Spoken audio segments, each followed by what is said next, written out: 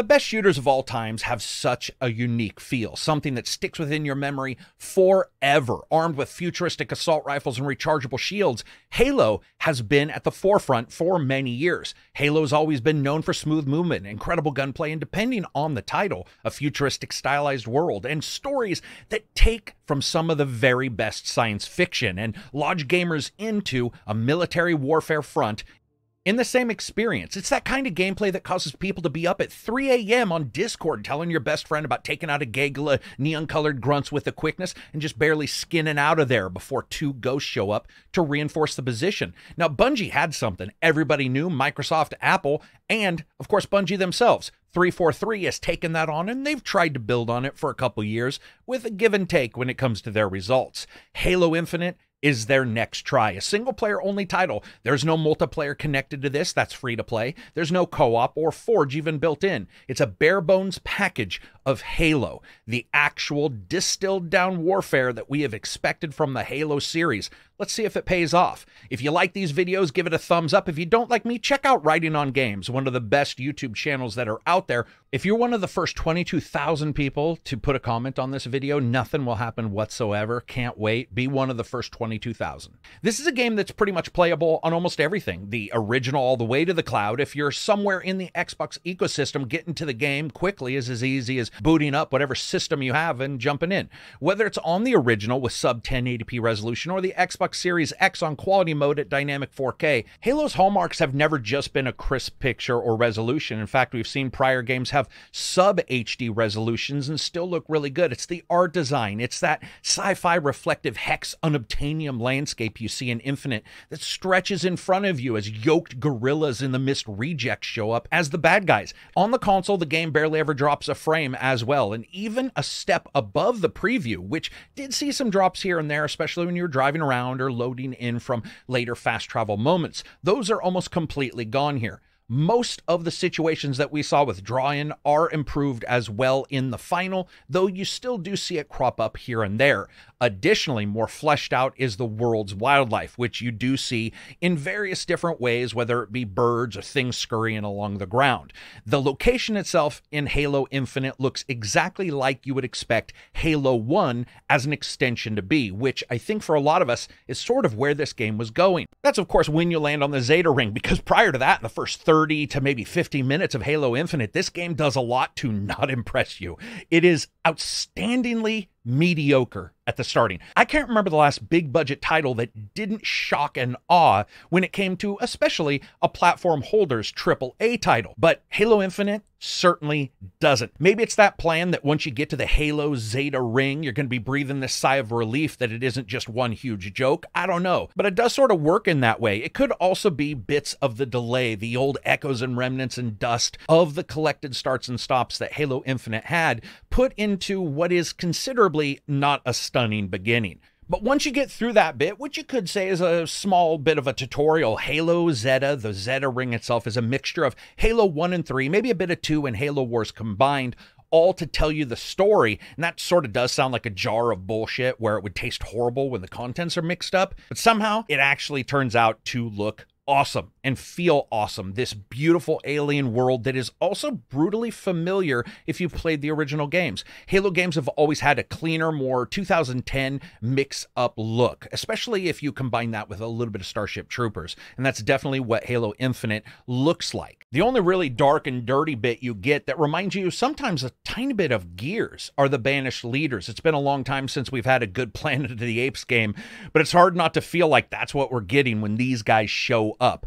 Massive thespian monkeys with a chip on the back the size of the entire family tree that you as the space marine leader have pruned prior to the story starting. Their hate for you is tangible and played out with excellent motion capture and detail when someone shows up in a cutscene to roar through a couple minutes of dialogue. Regardless of what version you're playing and regardless of what parts come in Halo Infinite looks damned good. Is it equal to, let's say, the absolute best of all other platform holders' AAA titles? I would arguably say sometimes it's not. But still, it is assuredly Halo. And for a lot of people, that's going to be exactly what they were looking for. If you want to hear more about the deep dive and technical bits, you can check the video linked up in the top right that I already did.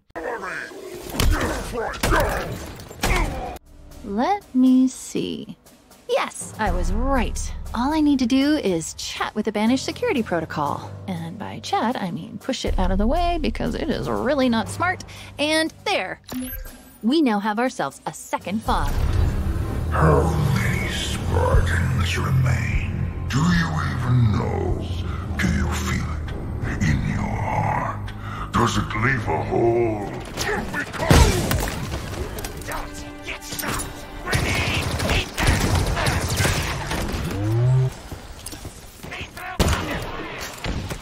Now, when you're talking about audio, Halo always has done it right. Despite a couple glitches on the PC side, there's some 3D audio tracking that I found would show up as issues, especially after a clean load. I verified this with my channel tracking software. Sometimes some mixes and samples just wouldn't play, especially when they were obstructed by landscape above or below you on the PC version, something that the console version didn't seem to have any issues with, so be aware of that. Here, though, we jump in and you have that amazing, crisp, and clear feeling that the Halo soundscape delivers to you through your ears. And I don't think I'd trade anything for the amount of contextual information that Halo gives you, whether you're turning enemies into mobile strainers by blowing 40 bolts into them with a shotgun or a needler clip. It's great. It always is telling you some moment or bit of data. In Halo, it's always the alarm and then the whirr as your shield recharges. Almost nothing is so stuck into my DNA as that sound. It's so highly attuned that a lot of gamers know exactly how long it takes for that recharge to whirl back up just by the sound. You can run towards an opening, and just as the full shield turns back on, you can end up coming back out. That sound alone can lead you without vision, which is tremendous. And you can couple that now with new movements, timing that 100% shield recharge just perfectly with a grapple corner swing. Halo's audio is a tangible component of the awesomeness that is Master Chief, a replacement for the lack of verbalization, perhaps, especially for this character who usually reflects their own actions by letting the dying and retreating and burning enemy screams do all the storytelling for him. Vocally, though, when it comes to storytelling, hey, you know what? It's rogue AIs, it's some trusty Marines, all of them risking their lives just to be a part of the Master Chief's collection of stories. And as I mentioned in my preview, you've got that gung ho feel and attitude that pays off in the narrative to make it feel like they're seeing this legend fall from the sky to help them in this unwinnable situation. Not so the Covenant and the Banished, though. As they tease you and they poke and prod you as you fight them, it's hilarious, if a bit different than the prior games, especially tonally. The sense of humor that's existed momentarily in prior games is much more profound here, especially on the enemy side. The grunts are consistently joking about getting paid for your death or the various different bounties that may be out on your head and all sorts of one liners. It works. It takes a bit of getting accustomed to, but it does tell the story that the Banished have basically kicked the crap out of everybody on for so long. The USNC has got their asses kicked. Their ego is stamped down and everything else about the enemies is on top of that. And you get this very cool feeling of fiction between the two. Whether you're taking over an old enemy FOB, forward operating base for people who don't know, or FOB for others, or you're just exploring, there's always something there narratively. And narratively isn't necessarily something that Halo has ratcheted up to 11 in prior games. It always tells a story, but that story isn't necessarily super deep. It usually has one or two pivot points and a basic overall story structure. What happens though is that when John shows up, he is a deadlocked cadaver warrior. He's like a Warhammer 40,000 Space Marine, but approximately 100% less religious fervor and a plus one for AI that usually carries that conversation for him. If John was a Hallmark card, he'd be the entire section of we need to see other people. When he drops in, you can hear all those characters cheering for him or laughing or discussing how they want to take out the enemies, and that feels good. It feels like a moment where everybody says collectively, Thank God Master Chief's here. It's about time something went their way, even if their way is just down the wrong tube of a series of battles that swallow enemies on both sides. It's about that gung ho feeling, something that in the past it's sort of been lost in Halo for their dire need to tell you some kind of in depth story. Let's jump into gameplay. From the very start, you're in battle. The game does have a lot of momentary cutscenes to try to draw the line from mainline Halos into the Halo War saga and then swinging back into Infinite to bring you up to speed. It's not nearly as confusing as, say, the Didact was in the prior game. And as I said, all those audio elements do bring it together and help you out. But by the time you swing into the credits many hours later, there might be moments where you're like, dude, wait, what? The greatest part and the part that lets you move through all this no matter what is John's sense of duty, that continual moving forward. Have you ever seen Brock Lesnar fight where you see him move and you're like, how the hell did he do that? If Brock Lesnar could shoot, Master Chief would basically be him. Seven foot a maniac. He's only quit two times in his life, and both times because he was frozen in deep space. The dude's a fucking stencil people would use to spray paint never quit on the graves of enemies. That's why it works so well because John's sense of duty, pushing you forward at all times. It isn't even really heroic. It doesn't even have to be. He doesn't know he's heroic. He doesn't really care. He just is. He's a gun that shoots bullets that shoots guns that shoot other bullets.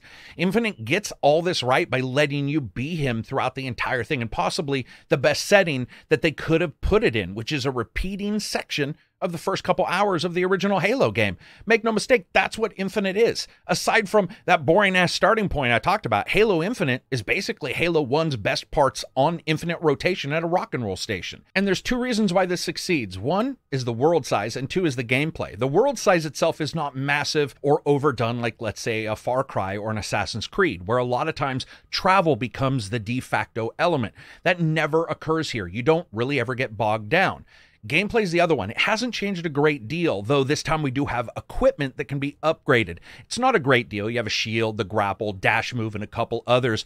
The grapple alone is worth the entire cost of entry for Infinite, though. With just the use of your directional pad rubbed off into it a little bit, the ability to whip around corners, leap into oblivion in some desperate retreat, but then catch yourself just before falling to your death, or grab a grenade from the ground or a gun from a stand cannot be easily explained on how cool it is. The grapple changes everything from giving you extra reach to grab a gun from behind cover to the ability to move from cover to cover more easily. Where there's also a dash move you can get that can be upgraded. It is normal for all kinds of games where you only get a couple activities at any one time and some of them don't feel necessarily as usable. That certainly does happen here. I felt that the dash, no matter how good it was, no matter how easy it was to switch, it just never equaled the grapple itself. That grapple is pretty legendary.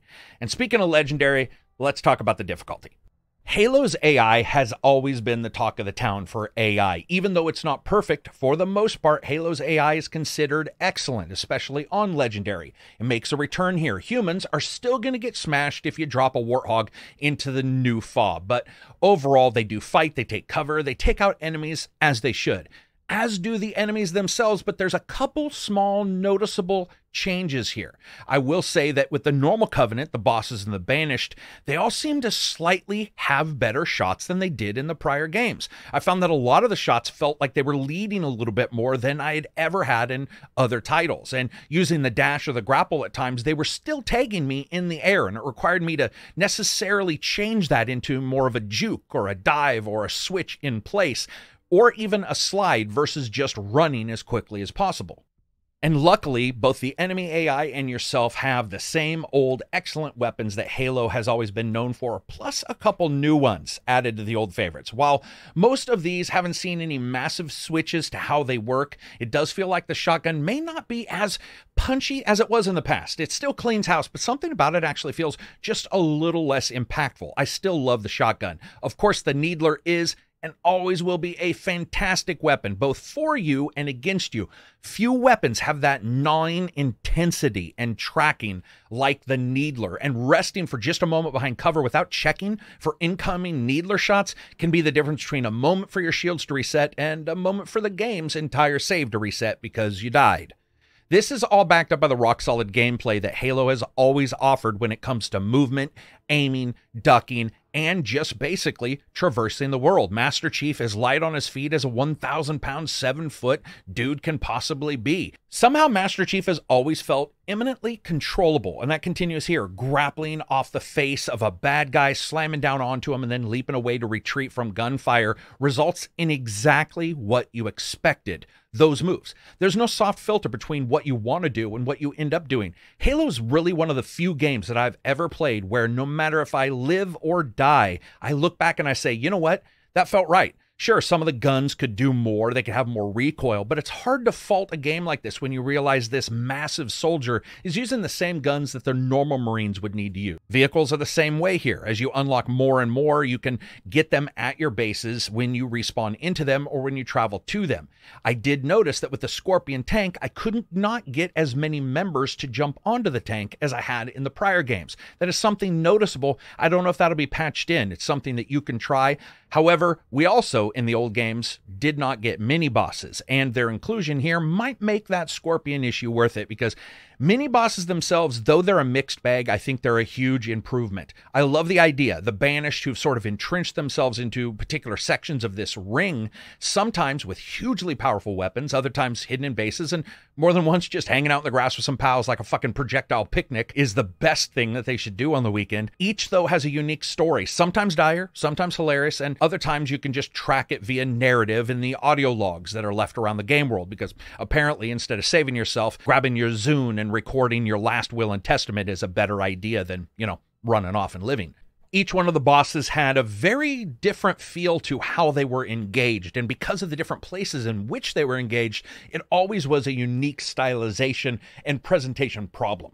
I love trying to figure out how to take each one of them on. And on the higher difficulties, that can be rough as hell. All that being said, though, the main bad guy, he's basically a YouTuber trying to fluff out his video time past 10 minutes so he can get some more ads on it. Half of the time, whenever he shows up and whenever you do anything, you just get done kicking the shit out of his people. And he's like, something will happen at some point in the future. And you're like, when, dude? Because I just kicked your ass. He's like, at some point. So then you kick more of his ass and you kick a dude and one of his best guys. And he's like, it really doesn't matter. I already knew he was going to die. And you're like, seriously, is anybody listening to this guy? Because if somebody on his team would be listening, they'd be like, fuck you, man. I'm not going out there. Master Chief kicks the shit out of everybody, and he just keeps saying, You just wait, man. All of these parts of the game, when you get these different items that you can join, you get the grapple and the dash, and you get the adjustments to the shield, and you get the fob itself, and you get the ability to grab people and put them into the game world the result is a game where the starting isn't great, the middle main section is fine, but the ending story is not necessarily bad guy Macbeth central, that's for sure. As you circle around towards the end, you clear up Zeta, the story feels like it's not necessarily going very many places. You do get some answers to some of the questions, but they're questions that I know that when you start playing the game within the first five minutes,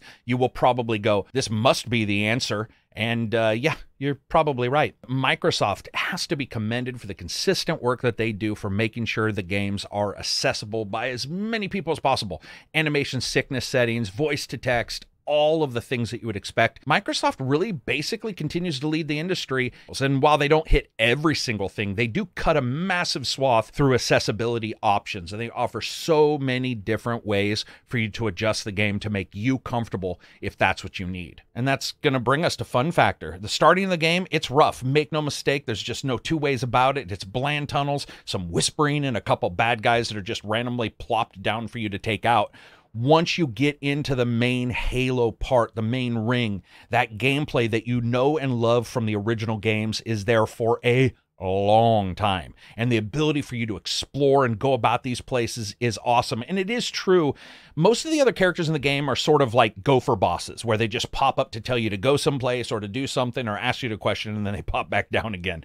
I get it. That is definitely something that Halo has had a problem with in the past, and it is certainly not fixed here, even with that really bad bad guy that you end up facing in this game. A lot of the Halo games have always tried to do that with their nemesis, but it's really hard to ever assume the nemesis can take out John.